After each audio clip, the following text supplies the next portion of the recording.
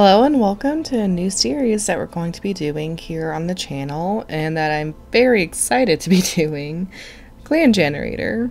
I was going back and forth about exactly what kind of series I wanted to do with this to kick it off and I ultimately decided that it'd be really fun to do basically like original Shadow Clan run where we're prioritizing bloodthirsty cats uh, cats that are ambitious because that tends to come with negative traits in this game, even though I personally don't think ambition is necessarily a bad thing to do.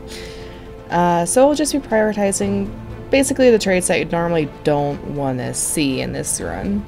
And part of that is also going to be antagonizing every single thing that we possibly can. So we're going to be playing on the harder difficulties, antagonizing everything that we can, and we must always proceed on patrols. So, there is a high likelihood that this series will not continue for very long, but I have a few other challenges in mind that I will do if this doesn't end up lasting as long as I'm hoping that it will. If you do hear anything in the background, I apologize. There's construction going on across the street, and there's always construction going on across the street whenever I can record. So, if you hear anything weird, that's probably all that it is. So before we hop into the actual clan, let's go ahead and go over settings. So since we're doing an evil clan, I think it's appropriate to do dark mode. Not only is it easier on the eyes, in my opinion, it will also make everything in-game nighttime, which for an evil clan that seems appropriate. I do want the background on. I do want to automatically save in case of any crashes. And allow mass extinction events. I am toggling this on, just to make it even harder. Cats will never retire due to permanent condition, so if we're playing an evil clan where everybody is being pushed to their absolute limit, even if they normally could retire due to an injury, I don't think they're going to be allowed to. Shaders, just for prettiness. I'm going to keep this off for right now. I'm still debating on whether I want the leader to automatically choose a new deputy. I think we're going to try and prioritize certain traits in deputies and leaders, but whether or not the leader would naturally choose those traits, I don't know. I'd rather not demote, promote every single deputy. We will allow dead cats to fade away, but I do want to save that, just look at it. And if we're playing a really antagonistic clan, I don't think anybody's going to want to be a mediator. For relationship settings, we're going to randomize relationship values when creating the clan, so it's actually starting off at a base. We will allow affairs and mate switches based on relationships. I'm keeping this off right now just to make it even harder, but I will be having same-sex pairings. Um, wow, and many cats have offspring. I'm actually going to toggle that off for right now. Allow romantic interactions with former apprentice's mentor. I'll toggle that on just to give us a bit more options. And I'll keep first cousins off and we'll go and save. So I'm currently playing with the March release, 2023, and next, and we'll be sticking with this for the entirety of the series. So we'll go ahead and create a new clan. I don't think Cruel Season, yeah. So we'll be going on expanded mode since that's a bit harder. I was going through what to name the clan without it, you know, sounding immediately edgy, like Blood Clan, Bone Clan, and ultimately I decided on Talon Clan because that sounds really intimidating and harsh without being like, ha ha ha, everybody here is going to die. So let's see what cats we get. Like I said, we're going to be prioritizing bloodthirsty and other negative traits. Things like bold wouldn't necessarily be bad either. Lonesome, sneaky, sneaky's a good one. Let's see. Faithful, careful, sneaky, and nervous. So I'm not seeing anything like super bad here. The worst I'm seeing is sneaky. And there's quite a few loving cats. We could theoretically raise up some of these kits to not be... That one's got two eyes. or two different colored eyes. I all have two eyes for now. Uh, so I think we'll go ahead and use one of our toggles there. Okay, so I do have an ambitious cat. Careful. Cold, lonesome, righteous, ambitious, strict, and compassionate. Okay, so we're kind of in the same boat with this one. We've got a couple of ambitious cats. Strict could work. Hmm.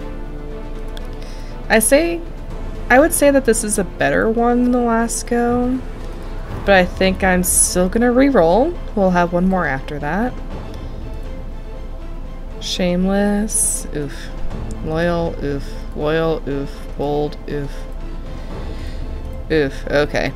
Last chance. okay. Well, unfortunately, everybody here is way too good for us, so we're gonna try that again.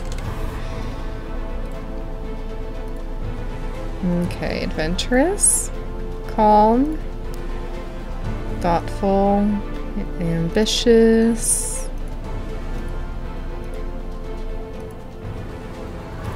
Oh, as another note, I will not be changing any cat names. Ooh, that's a fun one. Speaking of, I won't be changing any cat names um, unless there's like a queen that gives birth to the exact same kits or just there's a really common prefix running about. Oh, here we go. There's a really common prefix running about just because um, I want to keep that little RNG in there. But I definitely think that this is probably our best pull here. Think we'll be going with Cliff Nettle, who has the only actual bloodthirsty trait. As a note as well, in this particular playthrough, I'm going to be playing it like the evil cats are the good guys and vice versa.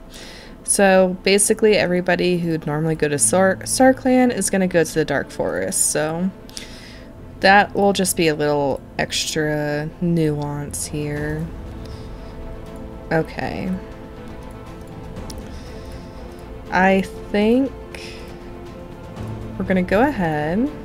We'll make Cliff Nettle, Cliff Star. And I do like Drake's Snout. Uh, Sneaky is probably the next best thing I can see. So I think we'll go with uh, Drake Snout as deputy. Her medicine cat, I'm feeling Ragged Song here, who's strict. Uh, just somebody that is strict on healing, I think, is probably a fair trait to have for a medicine cat who's kind of, you know, stuck between healing and murder, so that's a pretty fair neutral option. So Pop Beam, as much as I love that name, is unfortunately not going to come with us. Uh, let's see. We'll take the kittens.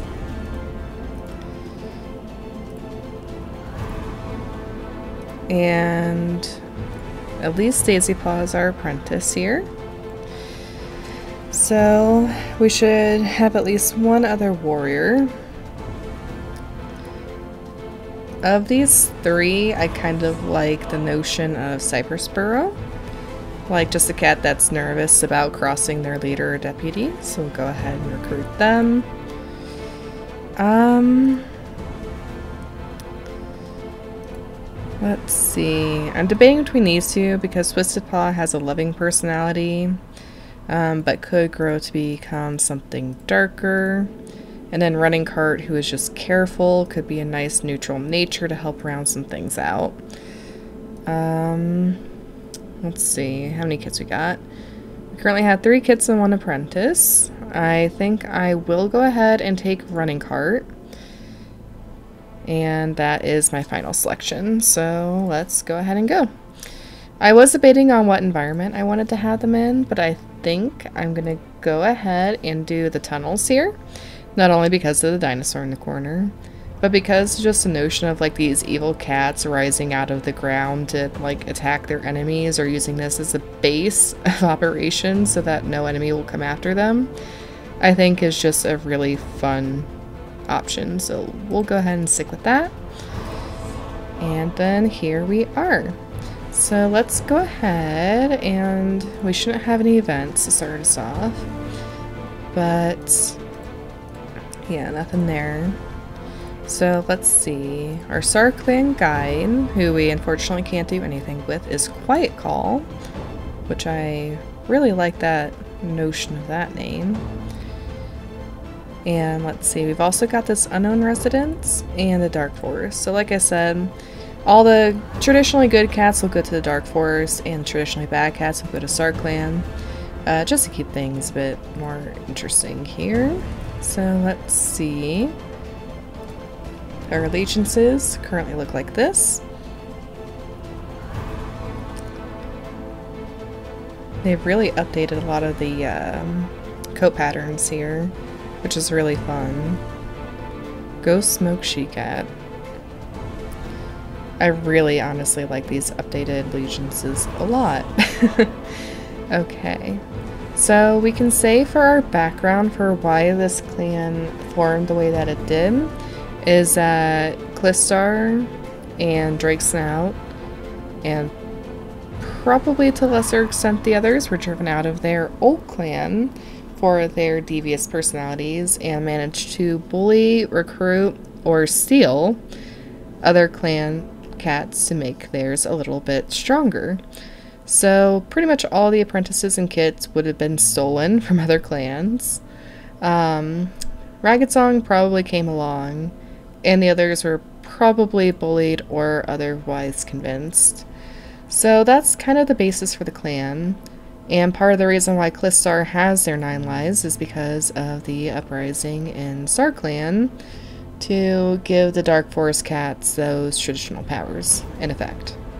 So we're basically just going to be playing the evil campaign. We're, like I said, going to be antagonizing everybody.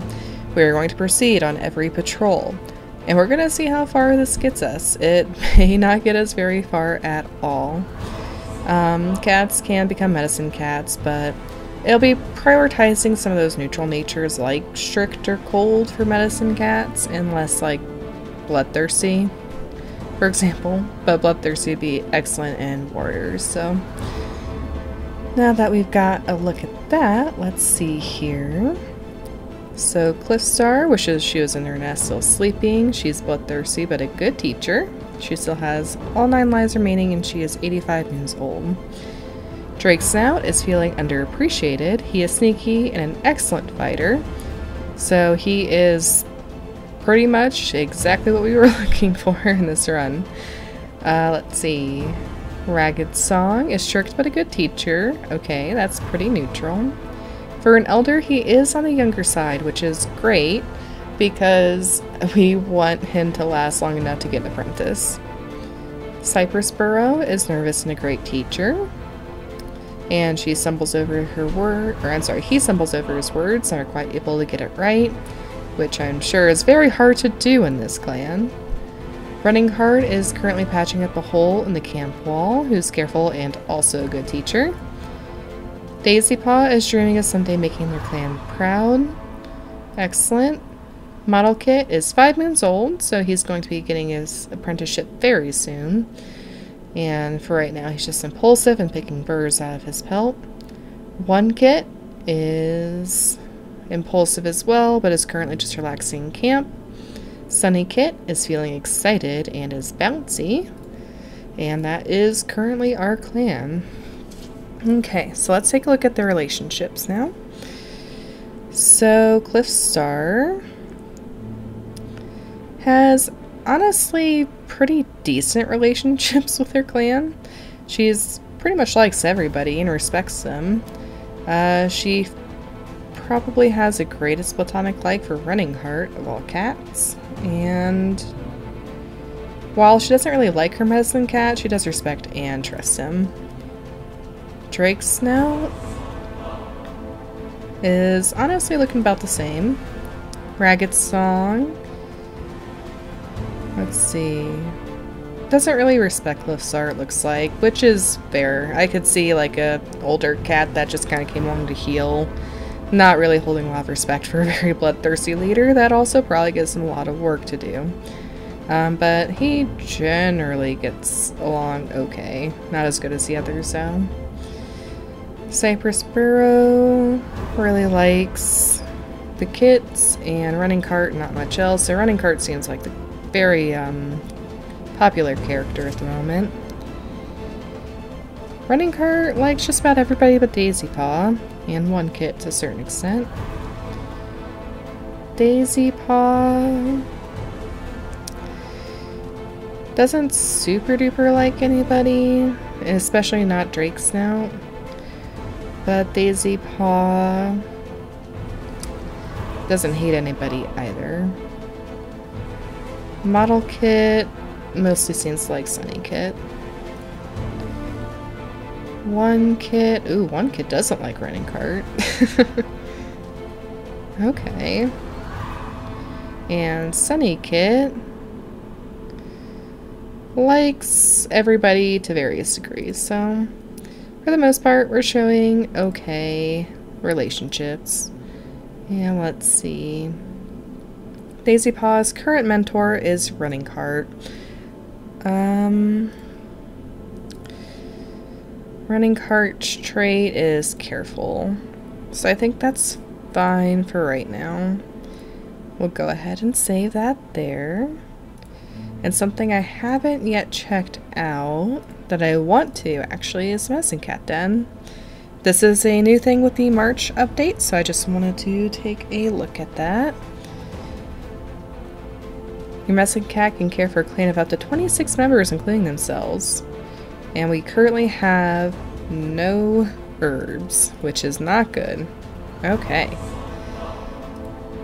That's a really fun add-on, honestly. Okay, so without further ado, we're gonna go ahead. We're gonna send these guys out. I do like to send the apprentices with their mentor, but the current update being what it is, I think it's really easy to do, so I'm going to do that unless a mentor or apprentice is otherwise unavailable.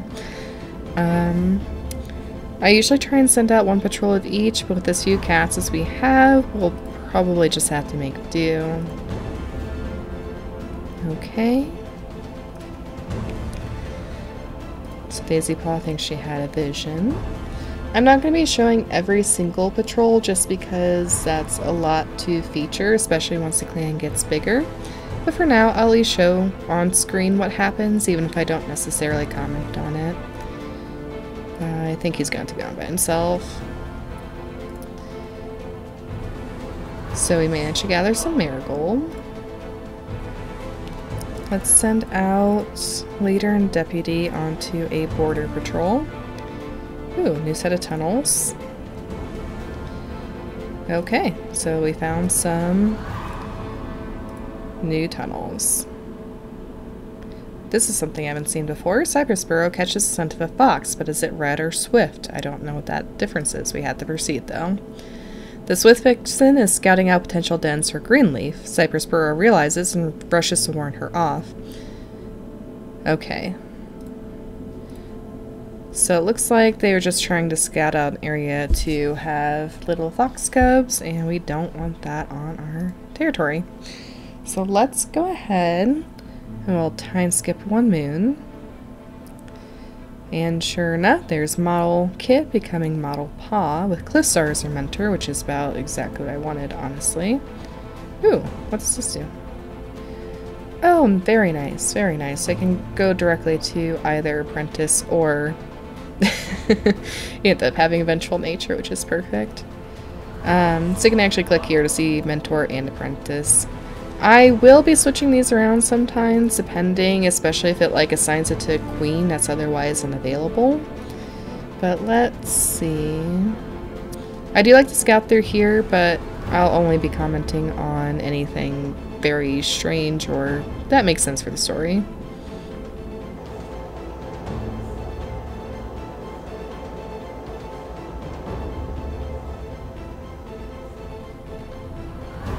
Okay, I mean, honestly, everybody is pretty happy. Which is not really something I was expecting. Okay, let's see. Caldenborn clan meeting. Is feeling unappreciated. Sure has taken care of the clan, I would be due. Craving Shrew. It's recently got Humming. To be Fierce Warrior someday and is staring off into space.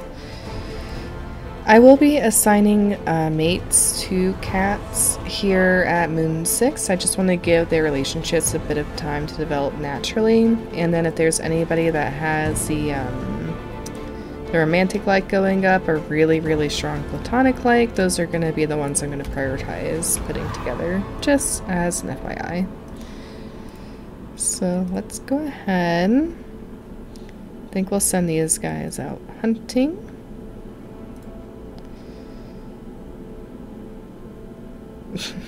Daisy Paw manages to steal a sandwich. Excellent. Okay. So I managed to get some ragwort, which is good. Let's send these guys to training. Oof.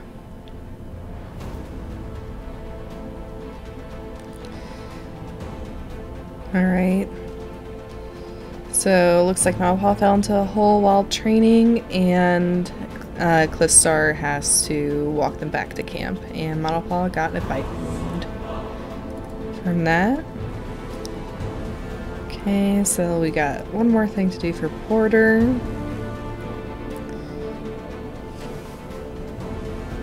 Alright. Nothing antagonistic happens there. Which is good. Okay, so I'll go ahead and time skip one more moon. Nothing interesting happened.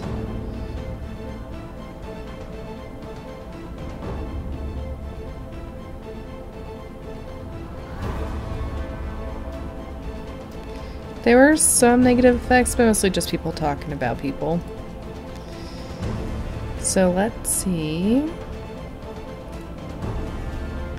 how everyone's doing.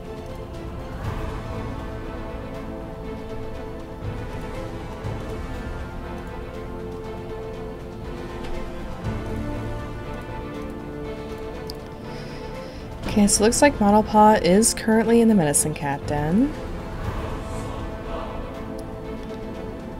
Okay. So it looks like they cannot work with the bite condition. With the new update, cats won't necessarily become uh, warriors uh, when they hit 12 moons. So I can't even like send Daisy Paw out on patrol as like her last assessment or anything. It's just gonna have to be um, done whenever she becomes a full warrior. Which could be next moon or it could be a little while away. It just depends. Since everyone's training or experience is very low, it may well not be for a little while. So we'll go ahead and send these two back to training.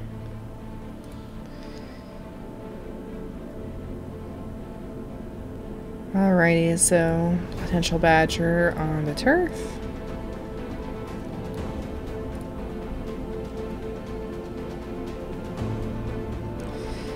Ragged Song doesn't manage to find any herbs.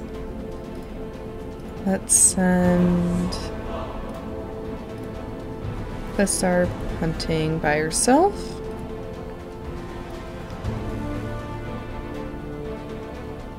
They smell some two-leg mush, but nothing awful happens.